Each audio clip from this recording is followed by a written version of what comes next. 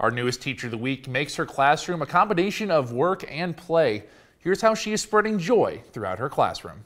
Rockford Public Schools has always felt like home for Amy Durso, from attending Spring Creek Elementary School to graduating from Guilford High School, and ultimately returning to teach for RPS. I always knew from the time I was little that I was going to be a teacher. I never knew where I would end up, but then as soon as I got my job with the district, I knew that this was where I was going to stay. Mrs. Durso has been with RPS 205 for nearly 20 years.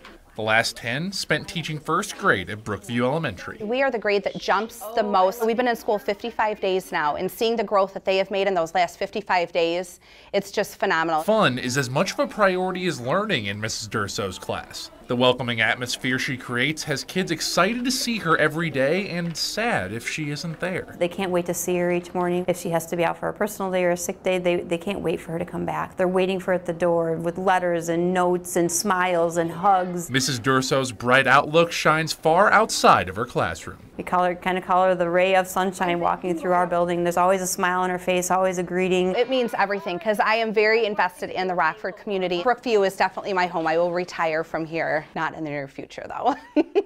Living her childhood dream in her hometown with students who feel like family. For your 13 Weather Authority, Evan Leake, 13 News.